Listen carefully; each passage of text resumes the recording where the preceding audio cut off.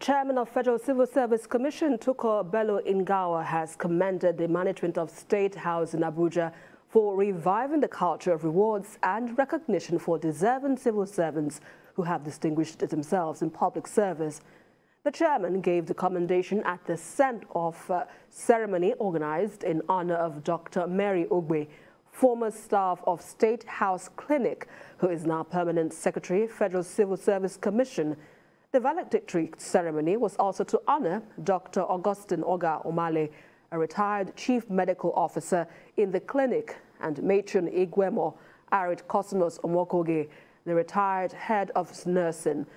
Dr. Ingawa said the culture of recognizing deserving staff should be encouraged within the civil service, just as it is, it is done in the State House.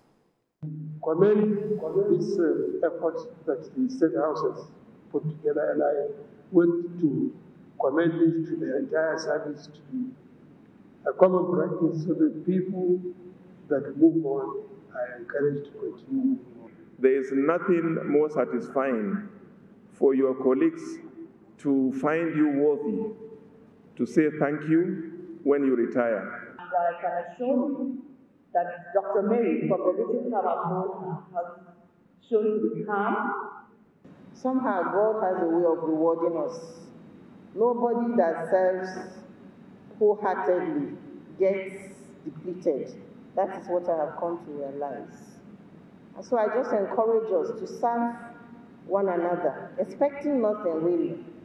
God is the one that rewards, and at the fullness of time, He will reward all of us.